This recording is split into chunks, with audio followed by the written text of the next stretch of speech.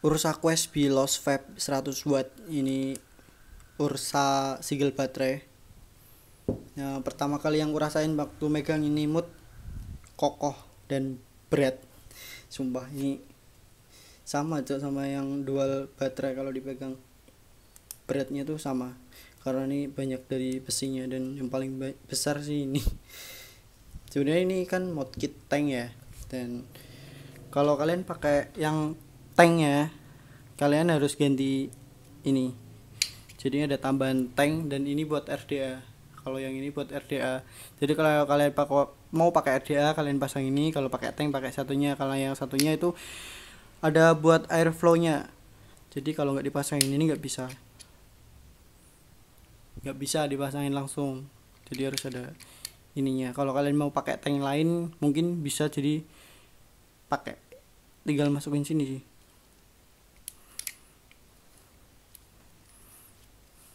nah ini bahannya sih berat banget. Mungkin karena banyak yang dari besi ya jadinya agak berat. Di sini ada kayak kulit tapi bukan kulit asli kulit kulitan dan yang sebelah sini atom karena di sini ada LCD tombol bottom firing dan bottom up bottom down dan ini buat milih. Dan ini ada USB tipe C dan tempat baterainya dapat pinjaman ini guys. Thank you buat udah minjemin.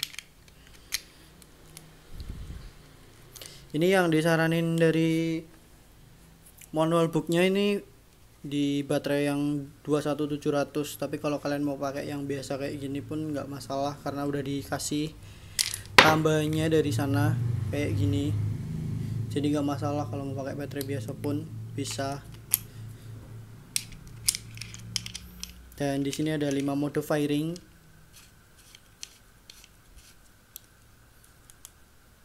Oke lock atomizer nggak ada atomizernya. Kita pasangin dulu bentar.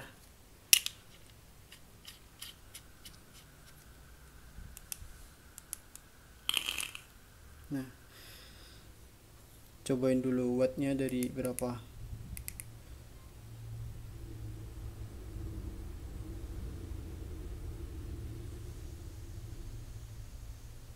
seperti biasa dari 5 ke 100 watt.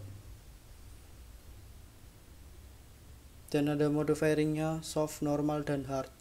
Tantar cobain aja semua. Sampai ke 100 kita cobain ke 80 aja dulu ya.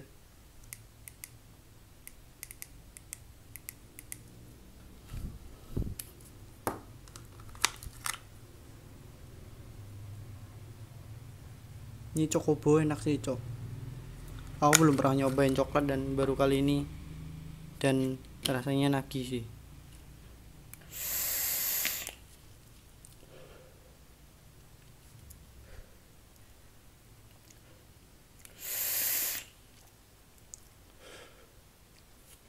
Yang kurasain nggak kalah dari dual baterai sama-sama ngangkat. Rasanya pun nggak jauh beda sama pakai hojik ataupun pakai Dovpo tadi soft kita pakai normal dulu.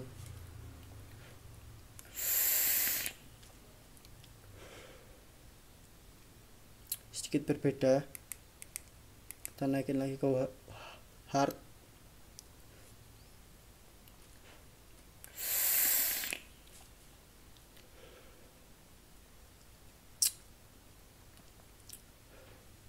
nggak begitu ngaruh sih tapi menurutku ada bedanya tapi nggak yang signifikan banget.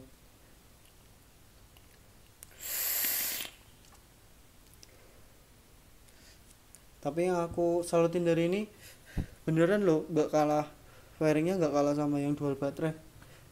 Sama-sama kuat ngangkat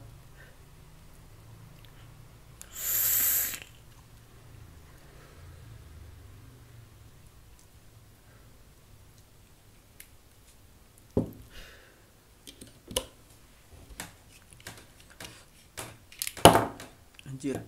Sorry sorry. Jadi kalau kalian mau pakai tanknya kalian tadi harus nambahin. Ntar aku kasih gambarnya. Itu buat air flow tanknya. Seperti itu. Jadi kalau mau nyopot ini ada dua tombol ini sama ini ditekan barengan. Ntar lepas. Nah ini kan udah pasang. Kalau ditekan barengan gini nah hati-hati di pegang aja ntar takutnya loncat jatuh. Terus lecet. Kalau mau masang ya tinggal dipencet dua barengan. Agak susah sih cok. Nah enggak sih. Ya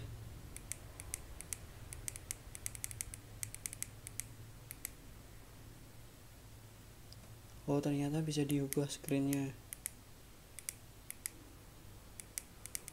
oh brightness kita bisa dari yang terang banget ke yang paling redup. Biar nggak ngirit eh biar nggak boros baterai. Terus di sini ada atomizer. Oh di sini ada keterangan berapa ohm? 0,19 dapatnya. Weh, belum gue pasang deh ya lupa aja. ada user, ada satu sampai tiga. Tinggal kalian mau nyimpen, jadi nggak usah kalau mau ganti-ganti RDA bisa disimpan di situ. Ini ada reset sama keterangan. Versi 1.1 bi lost vape dan udah sih itu aja. Ada puff, ada hard, normal dan soft oh di sini warna biru sama warna orange buat ganti warna. Ada Fahrenheit ada bypass voltage VPC NI TI komplit sih.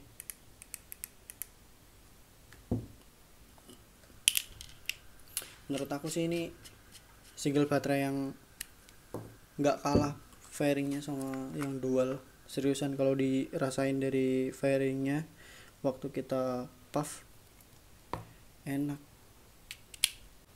Jadi ini aku mau kasih lihat fairingnya untuk soft hard dan normal. Coba tetes dulu. Ini soft di 80 watt. 1 2 3 kayak gitu lalu aku ganti di oh bentar. Di normal. Ini normal satu dua tiga.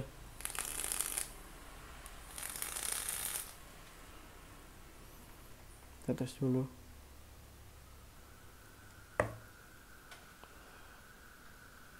Lalu ini di hard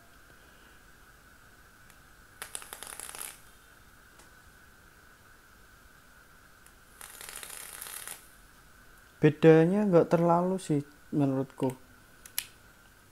Nggak terlalu jauh.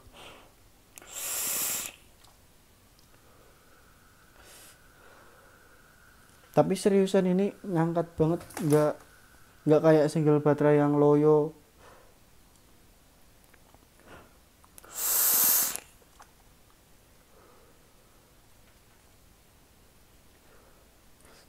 Jadi kalau menurut aku sih ini recommended sih dari dari bahannya dari bahannya kokoh kuat. Ini kalau buat ngelempar maling mati cuk. Sumpah kena pala mati nih. Sumpah ini berat banget asli ya bong kalau dari segi fairingnya sih menurutku oke oke aja. Gak ada masalah. Kalau kalian habis ke apa ke dual baterai mau ke single baterai pakai ini sih nggak yang terlalu kerasa buat loyo di firingnya sih. Kuat nadingin cuk? Serius serius. Gak bong karena kebanyakan yang ngomong tuh kalau pakai segel baterai ah mendingan double baterai segel baterai itu loyo. Di sini menurutku enak-enak aja kalau kalian baterai baterainya bagus baterainya masih full. Ini 73% dan enak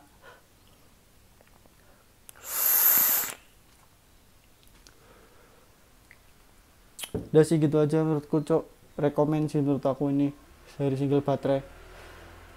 Kalau mau diadu fairing boleh. Mungkin sama adiknya si Telema Quest Solo. Jadi menurut aku kalau kalian mau pindah dari jual baterai ke segel baterai mau nyobain ini boleh sih. Menurut aku nggak yang down down banget kalau kalian ngerasain fairingnya. Karena kebanyakan yang ngomong kalau dari jual baterai ke segel baterai itu mesti bilangnya loyo. Kalau ini menurutku ngangkat dari segi rasa flavor. Terus buat kemarin di ini kan punya temanku dan dia selalu pakai Nick 6 dan dari segi apa dari segi nikotinnya juga ngangkat garuk di tenggorokan. Jadi kalau kalian mau nyobain single baterai bolehlah dicoba dari Lost Vape dan dijamin kokoh kalau kalian emosian mau banting-banting kayaknya ini kuat nih. Mau dicoba banting punya orang cok. Sorry banget. Ya thank you yang udah mau nonton. Jangan lupa subscribe like. See you the next video. Keep smart vaping. Thank you guys